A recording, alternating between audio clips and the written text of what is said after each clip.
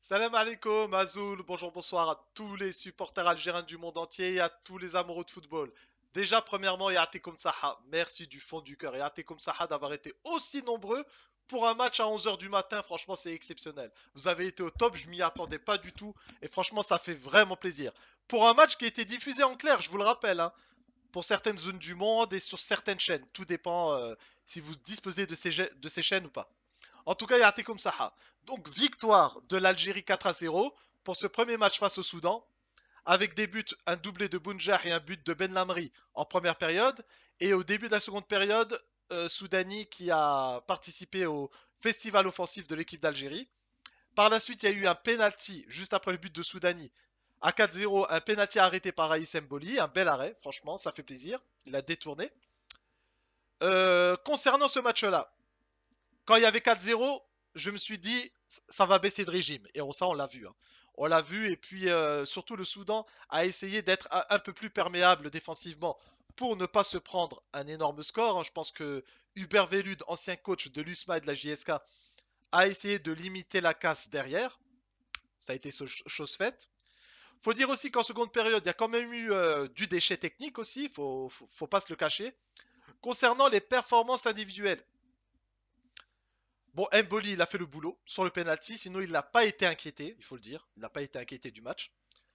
Euh, l'axe défensif, donc euh, l'axe central, Bedran, Ben Lamri. Bon, Ben Lamri a été bon, mais il y a eu cette faute. Cette faute euh, qui a provoqué ce penalty, il a marché sur le, sur le joueur. Il a toujours un temps de retard. C'est un peu à l'image de ce qui s'est passé face au Burkina. Mais ce qui est bien, c'est qu'il aura des matchs pour pouvoir se préparer. Et c'est une bonne chose. Et nous, on souhaite que cette équipe aille au bout et remporte le trophée, bien évidemment. Mais surtout, ça donnera du temps de jeu pour ces joueurs-là. Sur les côtés, Chetty, c'est une belle découverte. En tout cas, offensivement, il a énormément apporté. C'est un très bon joueur. Techniquement, euh, très propre. Après, défensivement, il n'y a pas vraiment eu d'opposition en face. Euh, quand je dis d'opposition, euh, en termes... il n'a pas eu beaucoup à défendre. Il a surtout joué offensivement.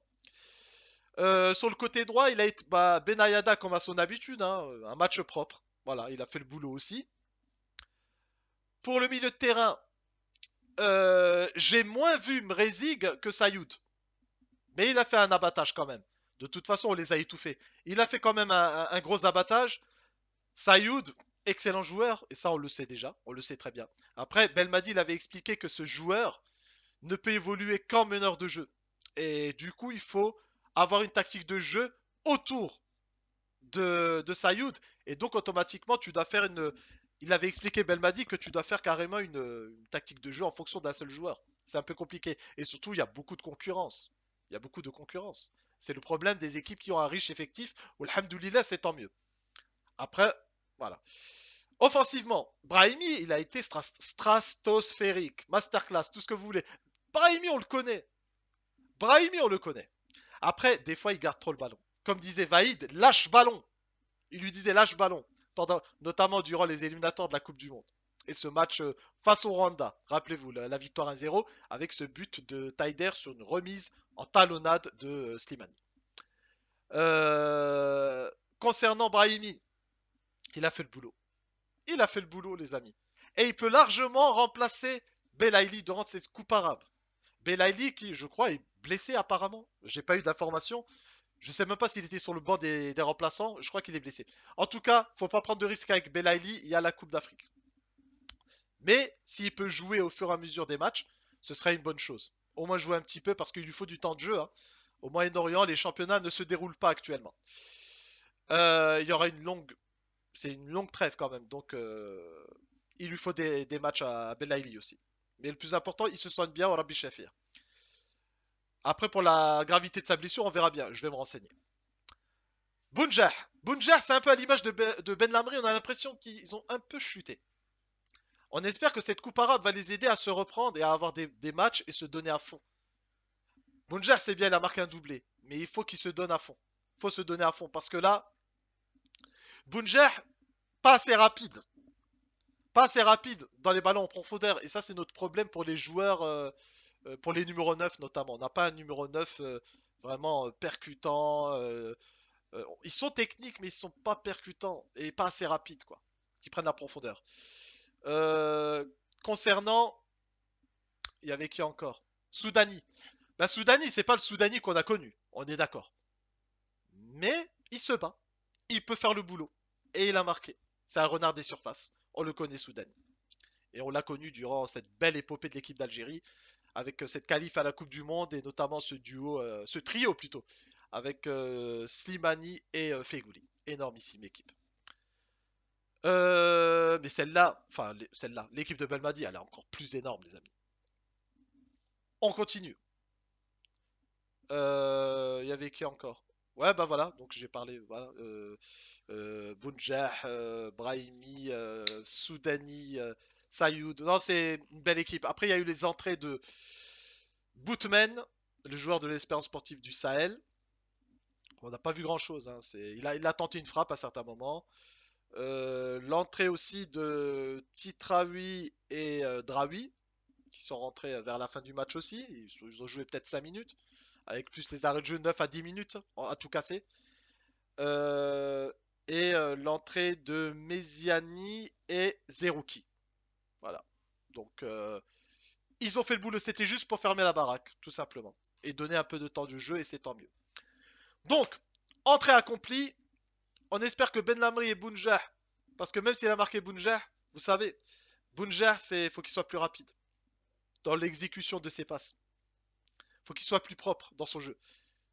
Mais on, croit en lui encore et on le soutient. Mais il faut que cette coupe arabe soit un déclencheur pour la Coupe d'Afrique des Nations qui aura lieu au Cameroun, je vous le rappelle, du 9 janvier au 6 février à vivre en exclusivité live sur Recycada DZ. Et on aura bientôt un nouveau décor. Et même au niveau de, l'affichage, on va faire de nouvelles choses. Inch'Allah, vous allez voir, ça va le faire. Euh, donc, prochain match de cette Coupe arabe. Donc, je vais liver le match Maroc-Palestine. On sera en live à partir de 16h. Le match débutera à 17h, Inch'Allah. Et Saha. Merci du fond du cœur. N'hésitez pas à liker un max cette vidéo. Ceux qui ne sont pas abonnés, abonnez-vous. On sera une plus grande famille. Merci beaucoup du fond du cœur. C'est vrai qu'on s'est un peu loupé avec le ballon d'or. Je voulais le faire, mais ça a été compliqué. Euh, j'ai pas pu être à l'heure. Mais c'est pas grave. Avec la Coupe arabe, on va se, rattraper. On n'oublie pas les matchs de championnat européen. Les matchs de. Enfin Ligue des Champions, c'est terminé parce que la dernière journée, le seul match que je voulais live, c'était Milan-Liverpool. Au fait, le match de Marez et le match de Liverpool. 18h45 le match de Marez, Leipzig City mardi prochain. Et euh, à 21h, Milan-Liverpool à 21h. Et à Algérie-Égypte à 20h. Priorité à l'Algérie, bien évidemment. Et on sera en live à partir de 19h, Inch'Allah. Le mardi prochain. Prochain match de l'Algérie, c'est Liban, samedi à 14h, donc 16h heure locale.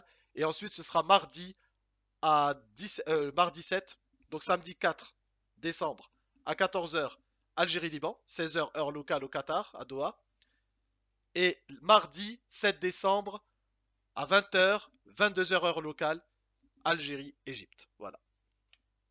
Et comme ça. Vive l'Algérie, vive euh, Bouguera, j'allais dire Belmadi, mais vive Belmadi aussi. Vive Bouguera, vive les joueurs de l'équipe nationale. Et comme ça. Rendez-vous à 16h pour Maroc-Palestine. Force à vous la famille, vous êtes la meilleure des communautés. Vive l'Algérie, vive l'Afrique. Dédicace à toutes les personnes, que ce soit de Guadeloupe, de France, d'Algérie, du Moyen-Orient, de tous ceux qui étaient là en live. Et à comme ça. Merci beaucoup. Et vive l'Algérie.